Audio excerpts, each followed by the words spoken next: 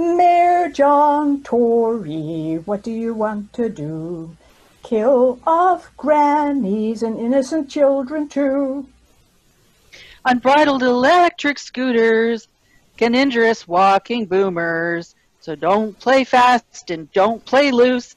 Play tough on e-scooter use. Mayor John Tory, the lobbyists have caught you. Piles of bodies and corporate profits too. Dismounted electric scooters cast off by the root to tutors can make us trip and break a hip. On e-scooters get a grip.